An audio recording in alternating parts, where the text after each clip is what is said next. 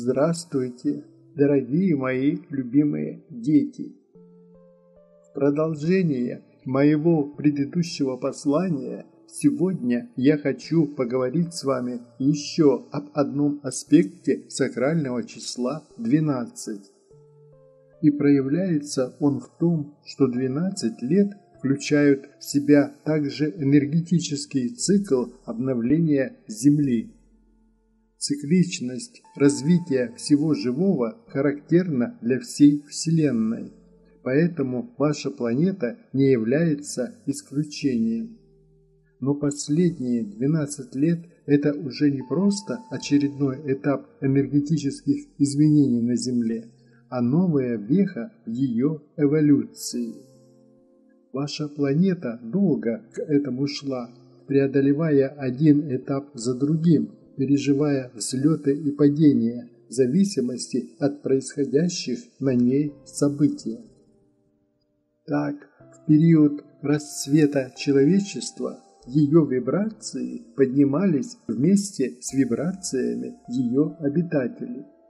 А во времена Инквизиции, кровавых войн и революций вибрации ее падали под воздействием энергии агрессии – боли и страданий людей.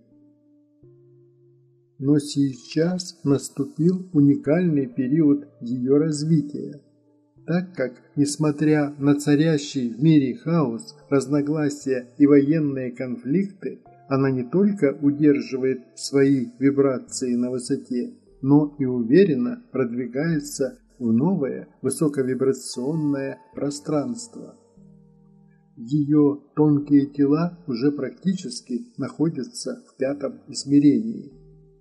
Таким был задуман этот уникальный в истории Вселенной эксперимент. Переход целой планеты на более высокий уровень ее развития в кратчайшие даже по земным меркам сроки.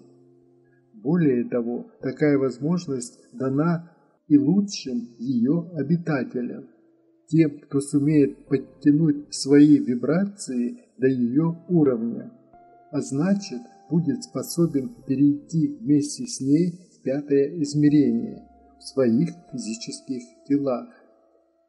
И последние 12 лет стали для многих людей решающими. Но если раньше обновление Земли происходило через разрушительные природные катаклизмы и гибель целых цивилизаций, как это случилось с Гипербореей, Лемурией и Атлантидой, то сейчас такие катаклизмы носят щадящий, очистительный характер. Так людям дается возможность осознать свою ответственность перед Землей и, соединившись с ней духовно и энергетически, совершить невиданный в истории человечества совместный с ней эволюционный скачок в новую эру пятого измерения. Конечно, не все смогут подняться своим сознанием до этого уровня, но все же такая возможность предоставляется каждому человеку на Земле, независимо от возраста его души.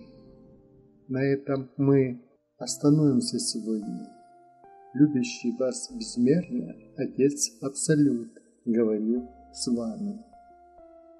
Приняла Марта.